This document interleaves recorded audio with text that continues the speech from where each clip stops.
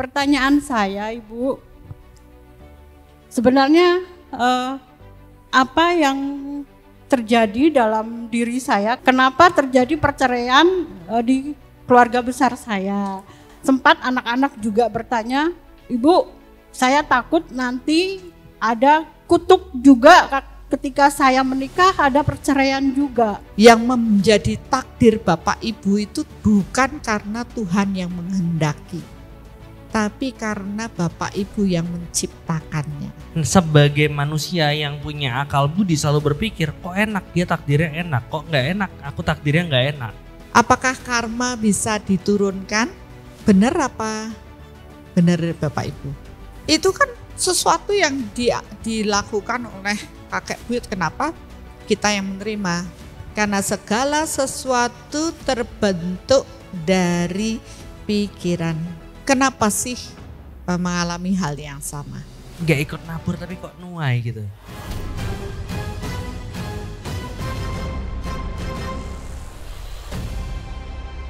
Acara ini dipersembahkan oleh Yayasan Cahaya Cinta Kasih adalah yayasan yang didirikan untuk melakukan kegiatan kemanusiaan, pembentukan karakter dengan dasar cinta kasih yang sederhana dan universal. Dengan support dari donatur di seluruh Indonesia, melayani secara lahir dan batin melalui bantuan sembako, obat-obatan, penyuluhan proses olah rasa. Suksemo saking semua donatur ring yayasan Cahaya Cinta Kasih. Sampun titik nyaman iki melingi. It's fabulous, wonderful. I really enjoyed the meditation and also learning about karma, learning more deeper about karma and the influence it has on our lives and the things we experience in this life. I'm so grateful. Sangat-sangat powerful sekali ya. Jadi uh, waktu meditasi itu penyembuhannya menyembuhkan diri kita sendiri dan menyembuhkan bumi. Dari Fitran mengucapkan terima kasih yang sebanyak-banyaknya atas uluran tangannya berbagi kepada kita. Support kami dengan berdonasi melalui rekening yayasan yang ada di deskripsi. Saya tanya dulu nih. Sebentar dulu nih. Oke. Ini bedahan pertama berat juga ya. Iya nggak ngerti lah mas. Iya. Orang Ini diundi kan. Ya kita yang di depan nih sebenarnya juga uji nyali nih. Uji nyali ya. ya masa Tapi nggak ada buka-bukanya kita ya. deg-degan juga nanti habis ini keluarnya apa lagi. Kita pastikan dulu kita bahagia 10. Nah, eh, se- sebelum masuk ke yang kedua, saya mau ngucapin terima kasih dulu kepada teman-teman yang udah eh, mensupport lewat Yayasan Cahaya Cinta Kasih karena tanpa support dari Yayasan Cahaya Cinta Kasih kita nggak akan bisa bikin event seperti ini. Ya, jadi eh, terima kasih banyak dan kalau misalnya ada yang masih mau mendonasi nggak usah ragu-ragu karena masih akan terus lagi lanjut dengan next di Bandung. Berapa? 25 Agustus 2024. Yang dari Bandung siap menyelenggarakan? Oke, siap. Oke. Ya, eh, kita sudah siap Bun untuk yang berikutnya Bun. Napas dulu deh. ya. Tarik nafas. eh, ini kasus yang eh, menurut saya sih berat tadi. Ya maksudnya tidak semua orang bisa menerima, pasti ada pro kontra, tapi tapi sebenarnya ini pelajaran yang baik. Kita diingatkan dengan proses kematian, ya, dan proses yang sebenarnya sering kita abaikan dengan hal-hal yang eh, menurut kita ah nggak ada yang begini, nggak ada begitu, tapi itu mempengaruhi proses hidup kita. Ya mudah-mudahan dengan ini kita jadi lebih mawas diri ya. Eleng nerimo waspodo, ini bagian dari kita waspodo. Oh ternyata hidup itu ada yang begitu. Ya, ini tidak ada yang kebetulan jika ketika ini pelajarannya turun ya. eh, karena kami di Sul apa sangat sangat eh, bersyukur ketika ada satu orang yang menyampaikan itu pelajaran untuk kita semua untuk lebih paham. Ya, walaupun saya di sini keder juga untuk menyampaikan, tapi ya itulah kita harus belajar untuk menerima ya kebenaran itu seperti itu. Walaupun kadangkala terlihat buruk, tapi ya itulah yang memang uh, terjadi. Iya dan satu lagi mungkin bagi beberapa teman yang uh, belum me, belum belajar dengan proses soul meter mungkin ada beberapa yang oh iya seperti ini ada beberapa yang oh ini kan menjadi satu uh, pendapat dari Bundar Saningsi atau pendapat dari Dr. Asto. Nah itu dirasakan dulu Nanti kalau misalnya sudah paham dengan proses soul meter bisa mengukur jadi itu tidak menjadi satu pendapat lagi ya Bunda. Karena kalau tadi bilang uh, ini yang peka terhadap energi itu kan kesannya kayak gift kan kayak uh, ya ada orang tertentu yang memang mendapatkan keistimewaan tapi proses kepekaan itu bukan giveaway jadi teman-teman yang memang punya kepekaan juga karena sudah berlatih walaupun seperti lagi sekali lagi mungkin gak ingat latihannya kapan tapi untuk yang belum pun akan bisa dilatih begitu Bunda. Oke, kita ya. bisa lanjutkan uh, untuk yang berikutnya. Baik, kita undi lagi ya Bapak Ibu ya. Kira-kira masih ibu-ibu atau bapak-bapak yang sekarang ya? Kita undi sama-sama.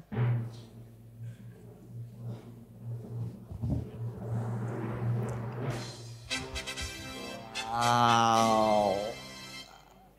Kita lihat ya. Ini sangat sulit sekali untuk dibuka. oh Tuhan, baik. Yang lucky number two, Ibu Teresia Endang Widyastuti. Boleh berdiri? Wah, dengan baju merah yang cantik. Boleh Bu, silahkan naik ke atas panggung. Wow. Ibu-ibu lagi. Kira-kira kisahnya apa ini? Kita saksikan. Tepuk tangan dong sekali lagi untuk Ibu Teresia. Kita akan tahu sebentar lagi. Iya. Kursinya sekarang udah panas, Bu. Silakan, Bu.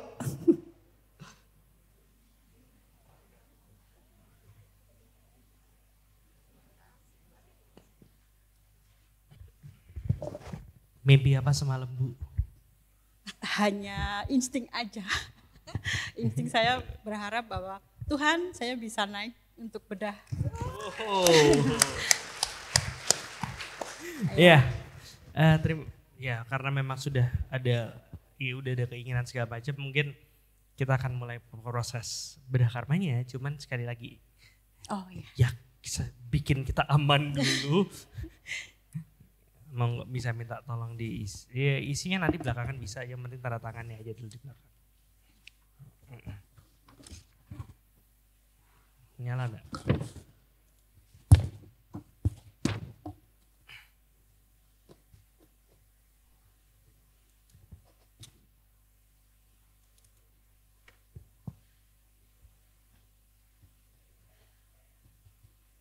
Oke. Terima kasih Sampai banyak. Gemetaran. Ya, Saya manggilnya Ibu Endang. Endang. Ya. Oke, Bu Ibu Endang, Endang dari saya asli Jogja, sekarang domisili di Godean. Godean. Godean, Sleman. Oke. Ya. Uh, perkenalkan, saya dari keluarga militer. Bapak saya dulu tentara, Ibu. Saya kelahiran di Pak 03, empat bersaudara. Kakak saya laki-laki dua, uh, adik saya perempuan. Uh, saya mau cerita dulu kisah uh, pribadi saya dulu, Ibu ini uh, siap banget ibu ya. saya selalu mengikuti ibu. Saya, gitu ya. Saya curiga udah bikin skrip ya.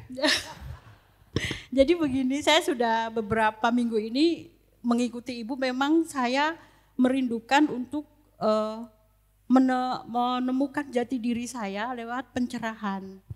Oke. Okay, ya, saya bersyukur sekali bisa ketemu channel ibu. Setiap pagi saya ngikuti lewat uh, channel YouTube sambil memasak. Dan kebetulan saya buka usaha kecil-kecilan Ibu di rumah itu angkringan untuk membantu suami. Uh, cerita saya uh, tahun 2000 tahun 1993 uh,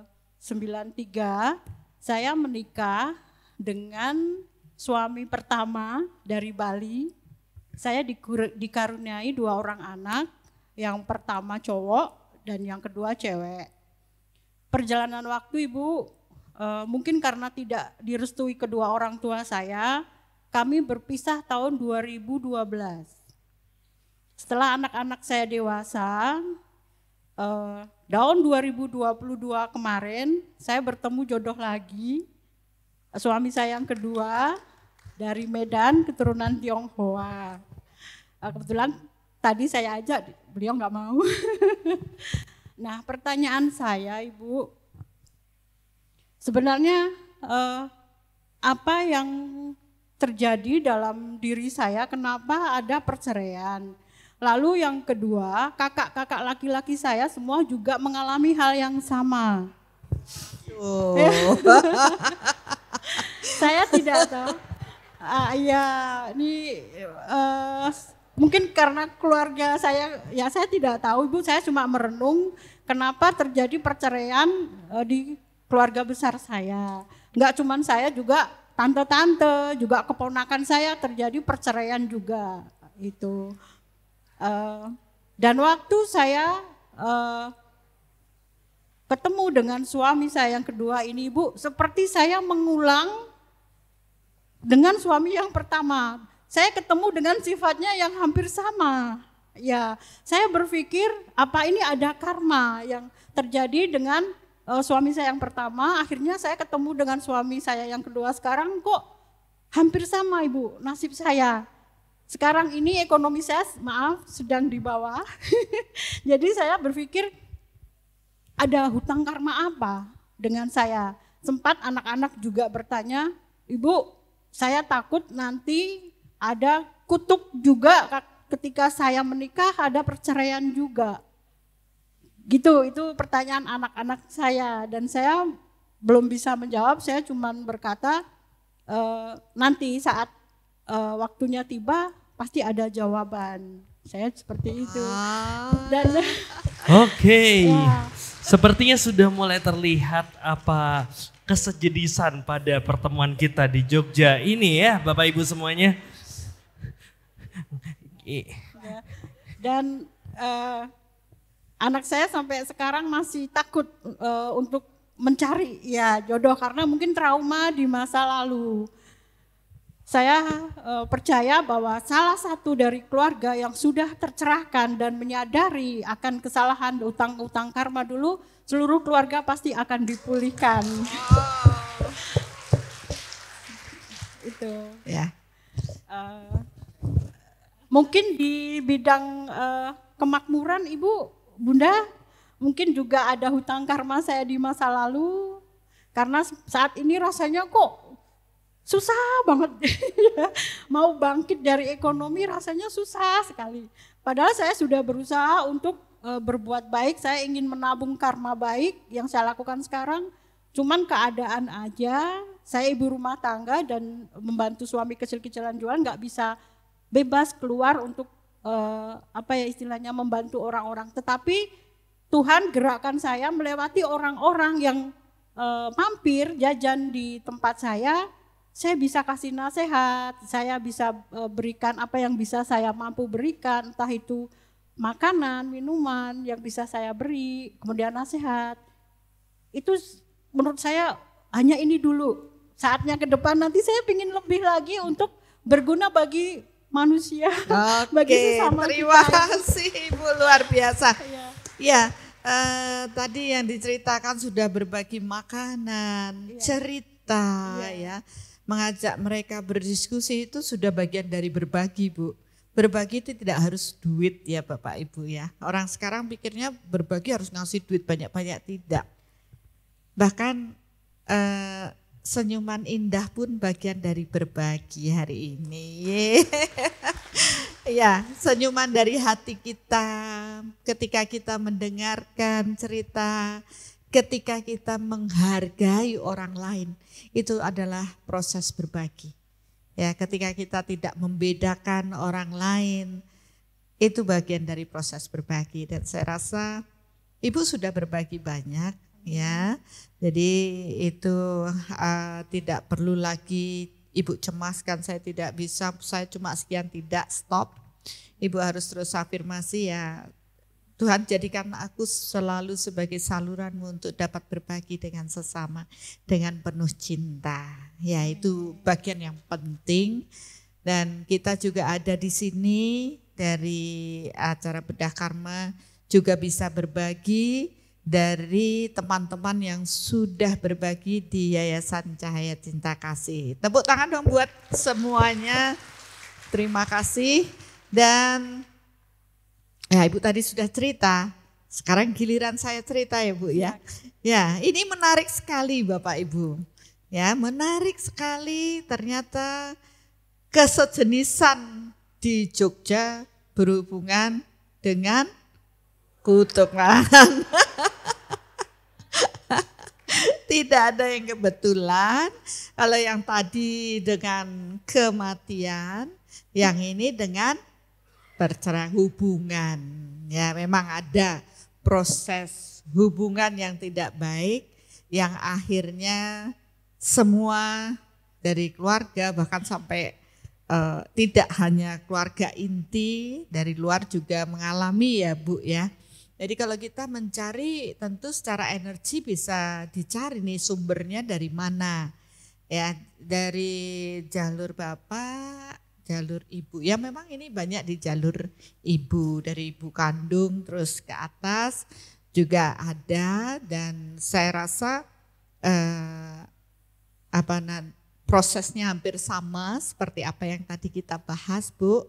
Nanti belakangan kita selesaikan ya sehingga nanti anak-anak ibu tidak lagi mengalami ya mereka juga akan menjalani kehidupannya dengan tenang dan bahagia. Cuma yang menjadi masalah eh, maksudnya yang ingin saya bagikan di sini pola eh, kutukan mungkin sudah dipahami tapi yang menjadi masalah kenapa sih saya harus mengalami ini keluarga saya ya adik kakak kakak ya, ya kakak sampai tadi ada tante ada ini. Kenapa sih eh, mengalami hal yang sama? Kalau dilihat dari uh, yang framingnya hanya kehidupan saat ini, tentu semua akan bilang, loh saya itu tidak berbuat hal buruk dalam hubungan, kenapa saya harus mendapat imbas, mendapat kutukan dan dan lahir sebagai keluarga di sana. Iya, saya kalau misalnya dilihat seperti itu kesannya kayak tidak melakukan sesuatu tapi ikut kecipratan satu proses yang terjadi sama yang di yang udah lahir duluan kan gitu kesannya kayak nggak nggak ikut nabur tapi kok nuai gitu. Ya bahkan itu sering dikatakan eh, bahwa ini karma dari kakek buyut saya, saya yang terima. Ya, itu kan dulu ya seperti mungkin tadi Ibu Grace tadi kan dari eh, kakek. Nah, kalau ibu kan dari kakek kakek apa ya buyut gitu ya. Jadi itu kan sesuatu yang di, dilakukan oleh kakek buyut. Kenapa kita yang menerima? Sehingga banyak orang mengatakan Wah, karma itu sifatnya menurun, diturunkan. Ya, kalau kakeknya berbuat buyutnya berbuat buruk, nanti dampak negatifnya akan diterima oleh anak keturunannya. Ya. Benar apa? Benar Bapak Ibu. Apakah karma bisa diturunkan? Tidak. Ya. Jadi bukan berarti oh kakek buyut saya yang melakukan terus kita dapat karma buruk dari perbuatan kakek buyut saya sampai semua keluarga bermasalah dengan hubungan. Ini gara-gara kakek tidak. Karma itu datang sangat tepat pada orang yang tepat, waktunya tepat. Nah, mungkin beberapa mengatakan karma, bahasanya hasil perbuatan, tapi beberapa akan mengatakan takdir. Takdir sama karma itu barangnya sama. Cuma bahasanya saja berbeda. Apa yang menjadi takdirmu itu akan datang pada waktu yang tepat, orang yang tepat, ya, dengan penderitaan yang tepat. Ya, jadi itu pun takdir tidak bisa diturunkan karena setiap orang punya takdir yang berbeda-beda, punya karma yang berbeda-beda. Tapi kasus ini, kenapa mereka ditakdirkan dalam satu keluarga dengan takdir yang hampir sama, yaitu dengan perceraian, ya, hubungan yang buruk. Asal muasalnya dari mana? Kalau kita hanya melihat di kelahiran saat ini, kita tidak akan bisa menjawab Terus jawabannya apa? Ya itu sudah takdirmu, terima saja. Gak bisa ke mana-mana. Ya, Bahkan kalaupun protes, ya terima aja. Jadi kenapa pelajarannya harus tulus ikhlas menerima takdir. Ya cuman itu enak diomonginnya ya. Ya siapa sih yang udah pernah dengar udahlah terima aja nasibnya atau terima aja takdirnya. Tapi sebagai manusia yang punya akal budi selalu berpikir kok enak? Dia takdirnya enak. Kok nggak enak? Aku takdirnya nggak enak. Ya itu dah. Makanya kita akan bahas dokter Astu. Kita akan bahas berhubungan dengan konsep takdir atau karma ini. Beberapa orang karena kita sekarang berfisik kemampuan kita melihat mendengar dengan indera kita secara berfisik kita hanya bisa dal, apa mengetahui sesuatu dalam jangkauan berfisik. Jadi proses pengingatan otak kita yang sekarang ini kan jangkauan yang berfisik. Jadi yang berfisik taunya ya dari lahir jebret owek-owek sampai mati, meninggal. Tapi sejatinya kita harusnya memahami bahwa kita tidak hanya punya tubuh yang berfisik tapi kita punya tubuh energi. Kita punya roh, kita punya jiwa berserta rekamannya yang tidak nampak secara mata, ya. Tapi hanya bisa dipahami secara batiniah. Ini masalah batiniah, rohaniah. Jadi yang tidak bisa nampak oleh mata kita, kita sebut batiniah, rohaniah, atau energi tadi. Kalau orang Bali mungkin sebut niskale yang tidak nampak oleh mata. Tapi yang goib, ya karena itu sejatinya diri kita. Kita bawa ke mana-mana. Itulah yang kita sebut sebagai tubuh spiritual. Tubuh spirit yang terhubung dengan kekuatan Tuhan. Karena sejatinya semua makhluk ciptaan Tuhan akan terhubung dengan sang penciptanya secara energi. Nah kita taunya kita terhubung dengan Tuhan hanya secara berfisik lewat doa, lewat ritual. Kita belum memahami kesejatian diri kita sendiri. Ya hakikatnya kita punya tubuh energi tadi. Sehingga sebenarnya yang membuat kita terhubung dengan kekuatan Tuhan itu dalam bentuk energi. Nah di sinilah rekaman daripada jiwa kita. Terekam, e, merekam semua rekam jejak. Dan alam ini akan memetakan petanya Bapak Ibu terpeta sesuai dengan rekaman jiwa Bapak Ibu. Nah maksudnya apa Bunda? Tuhan menciptakan hukum, hukum alam, hukum Tuhan, hukum energi. Kalau hukum yang lain itu kan masih hukum yang diciptakan oleh manusia. Tapi ini hukum yang diciptakan Tuhan yang berlaku sama untuk semua makhluk ciptaan Tuhan lainnya. Di sini kita akan melihat bahwa sejatinya kita itu sama dengan yang lainnya. Kita adalah satu ciptaan Tuhan.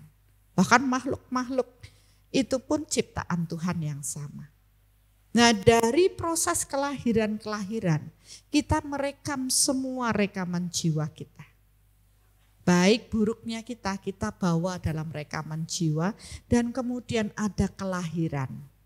Nah pada saat kelahiran ini, yang menjadi takdir Bapak Ibu itu bukan karena Tuhan yang menghendaki, tapi karena Bapak Ibu yang menciptakannya dari rekaman kehidupan Bapak Ibu masing-masing. Kalau Bapak Ibu dulu di rekaman jiwanya nanamnya baik, Bapak Ibu akan tertarik lahir pada keluarga-keluarga yang baik.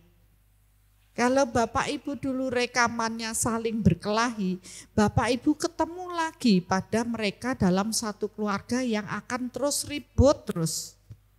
Itu hukum alamnya, sejenis menarik sejenis. Jadi kita tuh nggak ke mana-mana Ya circle kita itu itu aja, sejenis menarik sejenis. Untuk apa? Saling menyelesaikan hutang. Hutang apa? Hutang cinta. Kalau kita dulu berbuat baik, kita akan bertemu orang-orang yang baik. Karena kita banyak cinta, berbagi cinta dan kedamaian pada banyak orang, maka kita akan berada pada lingkungan yang baik sesuai dengan hukum yang diciptakan Tuhan. Tapi ketika perbuatan kita buruk, maka kita pun akan dipertemukan dengan orang-orang yang dulu kita sama-sama berbuat buruk. Untuk apa? Bayar hutang. Itu maksudnya. Kenapa harus berkarma dengan hal yang sejenis. Suami yang pertama sifatnya gitu juga bunda. Suami yang kedua sifatnya sama. Karena hutang ibu ada di situ. Dengan kondisi yang penderitaan yang sama. Jadi sebenarnya ya berutang sama dua-duanya, cuma berutang dengan dua-duanya. Tipe utangnya sama. Tipe utangnya sama karena apa? Karakternya dulu pertemunya sama. Berarti kan untuk bisa mengubah takdir ini menjadi nasib baik, ibu harus mengubah pola energi di dalam diri kita ke arah yang baik otomatis mereka akan bereaksi baik. Inilah yang di kitab suci dikatakan, apabila dalam satu keluarga kamu menjadi lilin atau cahaya, maka keluargamu akan mendapat imbas cahaya. Jadilah lilin, penerang, membawa sinar bagi keluargamu. Tapi jangan lupa, lilin itu akan terus terbakar dan terus bermasalah. Sampai terakhir tidak ada lagi yang lain baru dia merasakan cahaya itu. Benar nggak Bapak Ibu? Lilin itu kan panjang. Dia kan akan terbakar terus. Berarti ada penderitaan yang harus kita jalani untuk membuat lingkungan kita menjadi baik.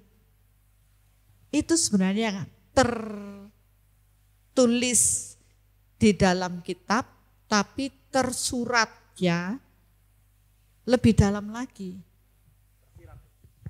Tersirat ya. Tersirat dalam suratan. Tertulis dalam suratan kan jadilah lilin penerang cahaya kan hmm. gitu. Tapi yang tersurat dari proses itu, tersirat dari proses itu bahwa menjadikan diri sebagai cahaya dalam satu keluarga ini butuh proses panjang sepanjang lilin itu harus bercahaya, makin lama makin pendek dan terakhir dia sendiri menjadi cahaya. Ya. Jadi proses inilah yang saya lihat sebagai proses uh, kerendahan hati dan menerima. Tentu tidak ada yang mudah, ada perjuangan, ada penderitaan ya. Tapi itu akan membawa cahaya bagi keluarga. Nah, proses ibu pun demikian. Ketika ibu ada kesadarannya menjadi lebih baik, ibu melihat YouTube sambil masak. Wah, ibu berarti masak sambil happy ya nanti ya. Habis itu ada kesadaran bertumbuh. Oh iya. Dan akhirnya kebaikan yang ibu buat dengan pikiran teradiasi. Apa yang membuatnya e, membuat begitu? Karena ibu mengubah kesadarannya yang tadinya mungkin ah, nggak ah, nyaman, terus nonton YouTube, mulai mikir, mulai tenang. Ya, karena saya lihat ruwetnya ibu sebelumnya ini ruwet banget, ya. Ya, kalaupun setahun yang lalu tuh ruwetnya, stresnya 1, 2, 3, 4, 5, 6, 7, 8. Oh ya. Nah, hampir. Ma maaf Bunda, syukur-syukur nggak ke Gracia Bunda. Tapi begitu sekarang walaupun lewat nonton YouTube, mencerna, memahami, ada perubahan pola pikir, maka terjadi perubahan pola energi. Yang stresnya tadi 8, sekarang 1, 2, sekarang tinggal 2 aja. Ini yang disebut tercerahkan.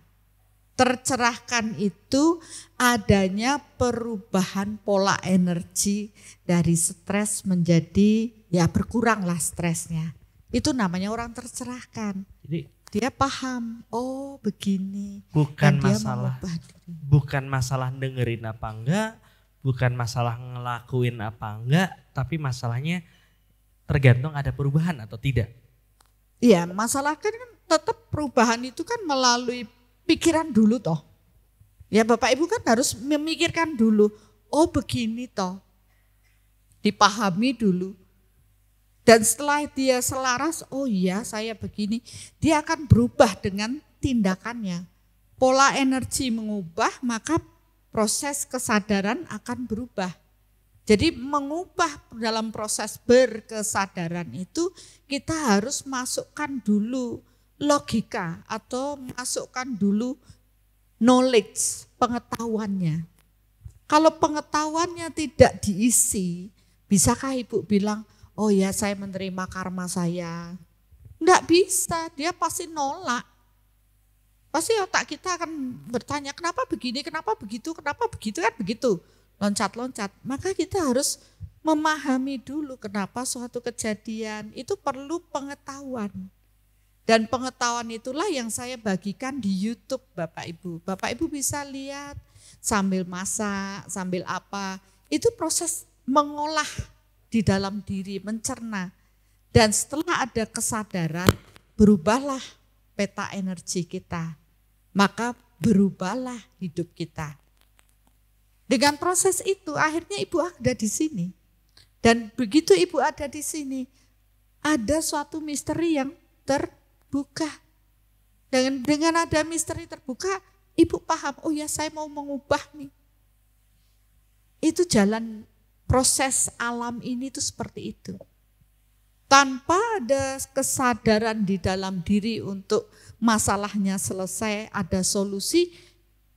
Kalau kita terus ngomongin ruwet-ruwet, ke depan ya mungkin ibu enggak akan ketemu saya, ruwet terus, enggak akan datang ke sini pingin solusi. Di sini kan kita mencari solusi. Apa yang harus saya lakukan? Dan kalau kasusnya seperti ini, solusi tidak bisa didapatkan begitu saja. Karena mereka harus menerima penderitaan dulu dengan karma atau takdirnya yang bermasalah dalam hubungan itu. Begitu ada satu keluarga mempunyai kesadaran yang lebih baik, maka karma kelompok berubah jadi baik. Dan dengan berubah jadi baik seperti yang dikatakan di kitab masalah lilin sebagai cahaya bagi keluarga. Apa yang ibu lakukan nanti di sini? Kan seperti tadi Tuhan memberi, oke okay, nanti bersihkan kutukan dalam bentuk apa pun. Kan termasuk kutukannya keluarga ibu diselesaikan, putus kutukan itu berarti ada perubahan di dalam keluarga. Itu sesuatu yang indah sekali kalau kita bisa memaknai. Tuhan itu mencintai kita, tapi sering kita tidak tahu cara Tuhan mencintai kita. Maka dengan soul matter, saya selalu mengatakan itu cara Tuhan mencintaimu. Kamu tinggal berserah. Dan setelah berserah, gunakanlah energi ini untuk menuntun Kita semua ingin tahu kehendak Tuhan atas diri kita. Tapi kita tidak pernah berserah kepada Tuhan. Kita ngomel aja, nuntut ini, nuntut itu. Kapan kita berserah? Oleh karena itu di kitab dikatakan barang siapa berserah kepadaku, aku akan memenuhi semua kebutuhanmu dan semua jalanmu akan aku lapangkan. Saya hanya melihat soulmater ini hanya cocok untuk orang yang berserah. Karena orang yang berserah dia akan netral, tidak ada ambisi, tidak ada ego. Dia berserah kepada Tuhannya. Walaupun tidak melihat, Tuhan tidak bisa kita lihat. Tidak bisa mendengar kata Tuhan, tapi kita tumbuh keyakinan, kepercayaan di dalam diri kita. Nah dengan metode soul meter itu bisa dirasakan energi Tuhan hadir. Kita bisa tahu, oh kayak yang tadi jiwa-jiwa yang masih kebingungan kita tahu kita bisa bantu mereka. Akhirnya dengan proses ini kita bisa berguna bagi sesama kita. Berguna bagi manusianya, berguna bagi makhluk ciptaan Tuhan lainnya, berguna bagi alam ini. Bapak Ibu hadir di sini, Bapak Ibu harus bersyukur karena tidak ada yang kebetulan. Hukum kesejenisan ini membuat Bapak Ibu hadir. Siapa tahu di dalam diri Bapak Ibu ada rekaman kutukan yang besar. Dan dengan proses besar Tuhan berkehendak, kutukan itu dibersihkan. Berubahlah kondisi kehidupan Bapak Ibu menjadi lebih baik. Dan melalui Bapak Ibu yang hadir tidak hanya kutukan untuk kita saja, kutukan untuk Nusantara pun dapat dibebaskan. Berarti akan terjadi perubahan yang besar untuk Nusantara atau Indonesia ini.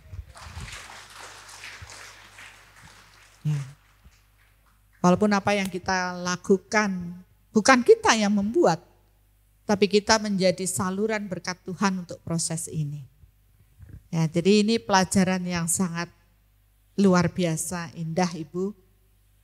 Itulah kesejenisan Ibu dengan suami dan yang lain juga punya karena proses kutukan dalam hubungan. Jadi kenapa mereka harus lahir dalam circle kelompok keluarga ibu dan menyelesaikan hutang-hutang karma ya dan Ya, menurut saya ya lewat jalan ibu lah. Keluarga besar ibu pun mendapat pencerahan dengan nantinya terbersihkan kutukan tersebut. Terima kasih. Satu lagi Bunda, soal kemakmuran. ya, kalau eh, tadi saya mengukur dengan soulmater memang yang masalah di hubungan itu berhubungan secara global ya dalam keluarga.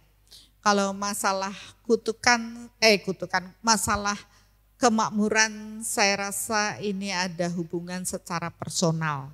Jadi ibu membawa ya, kalau saya ukur kemakmuran ibu sebelum ke, uh, menikah, satu, dua, tiga, empat, ini ada empat poin. Setelah menikah dengan yang pertama, satu, dua, tiga, empat, lima ya ada sedikit. Tapi begitu menikah dengan yang kedua ini memang turun cuma dua poin. Nggak masalah bu ya. Kita upayakan ya. Biasanya kalau berhubungan dengan kemakmuran apa yang kita lakukan? Ingatlah hukum di alam ini adalah tabur tuai dan tabur tuai itu sangat spesifik Ya, jadi tidak bisa saya hanya menolong eh, banyak orang dengan tenaga ya atau duit saja tidak bisa begitu.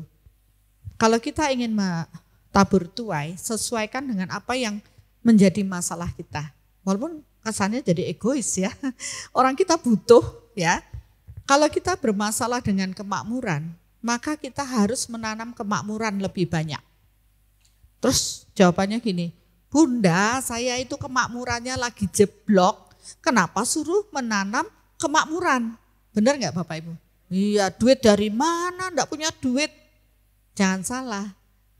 Dalam konsep energi yang kita tanam pun masih dalam konsep energi.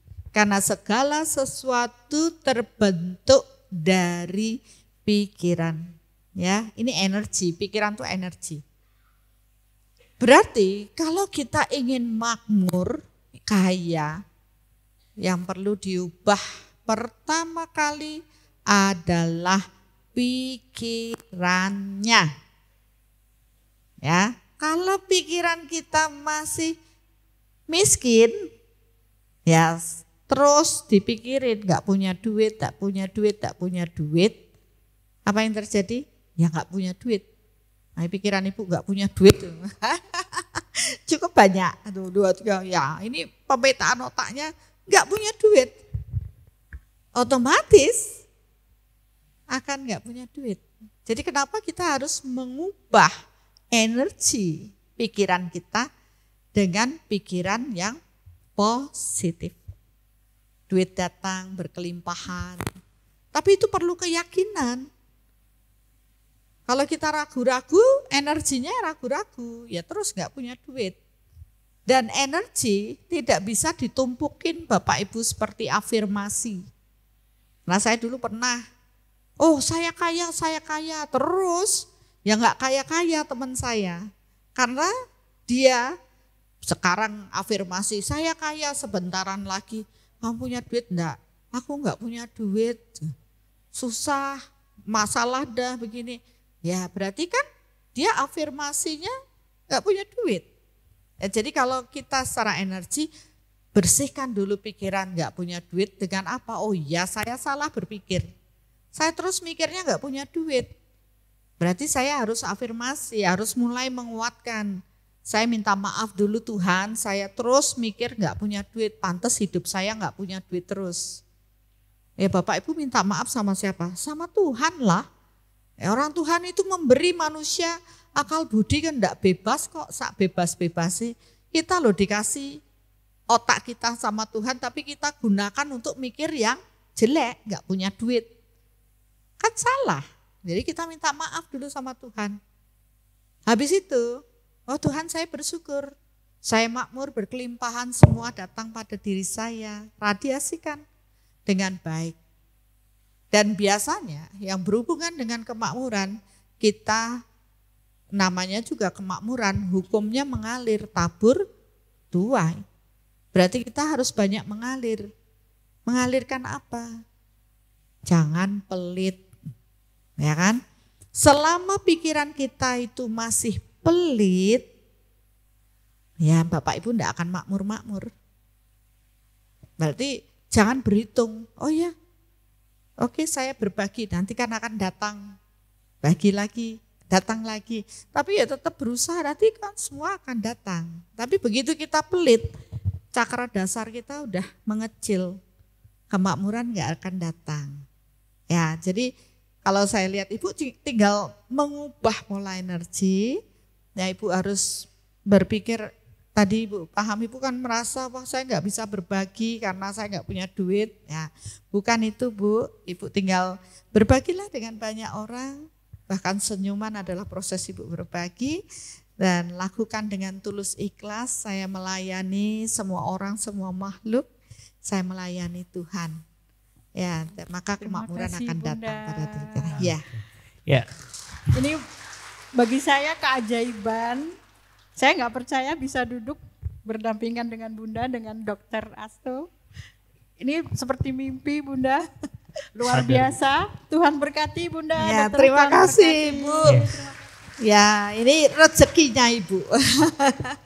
Nambah okay. uh, tambahin sedikit Bunda yang tadi Bunda Bunda sebutkan kan bahwa oh ya kita akan apa untuk bisa mengubah uh, nasib kita kita ubah pola energi kita. Cuman mengingatkan aja bahwa semua untuk bisa melakukan proses itu akan diperlukan satu pemahaman. Tadi Bunda udah sampaikan proses pemahamannya seperti apa. Tapi ya ada lagi proses pemahaman yang mungkin bisa membantu untuk bisa mengubahnya. Yang kedua adalah power. Power adalah kemampuan seseorang itu bisa mengubah energi. Ya, karena kalau di Sul kita berfokus powernya adalah dengan men, keterhubungan dengan Tuhan ya, proses itu yang akan terus ditingkatkan. Yang berikutnya adalah praktek. Karena ada juga orang yang power eh, pemahamannya punya, powernya punya tapi nggak praktek ya tetap aja. Nggak akan ada perubahan mungkin seperti itu. Dan untuk teman-teman mungkin ada yang mikir oh gimana proses pemahaman yang apa ya yang untuk proses mengenal jati diri bisa dengan kelas online? Langkah awal mengenal jati diri di situ udah mulai ngomong tentang gimana pemahaman pemahamannya powernya juga semakin sering proses meditasi apabila tidak hanya mendengarkan ya tapi men menjalani proses itu ya itu akan membantu untuk meningkatkan powernya. Saya kadang gini dokter Asto, ketika saya khawatir, saya langsung sadar, saya saya sedang merasakan khawatir, saya sedang merasakan sedih, itu saya nikmati.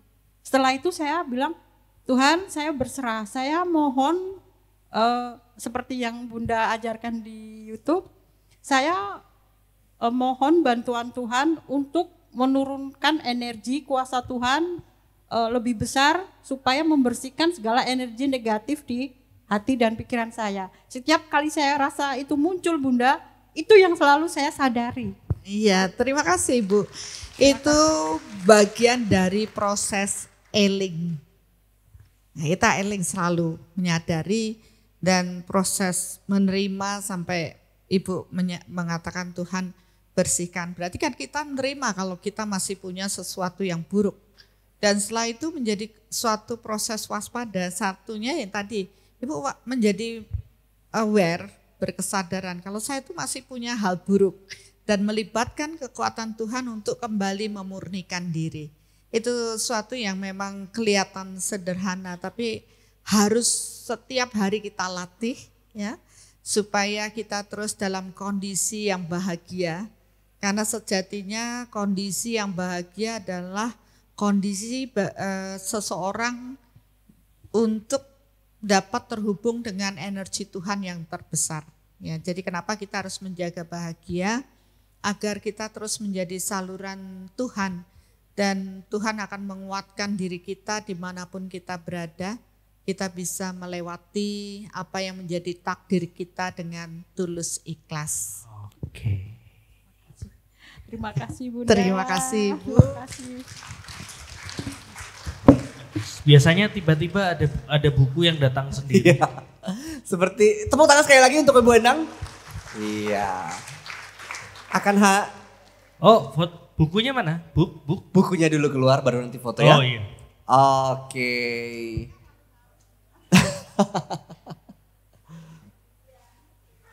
iya.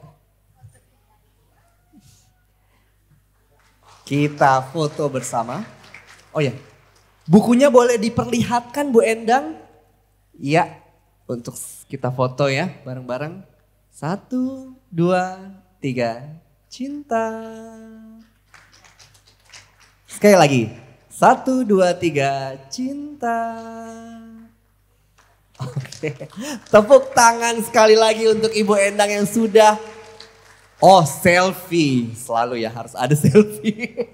Supaya bisa masuk ke Instagram. Oke, cinta, cinta. ya terima kasih Bu Endang yang sudah berbagi. Luar biasa.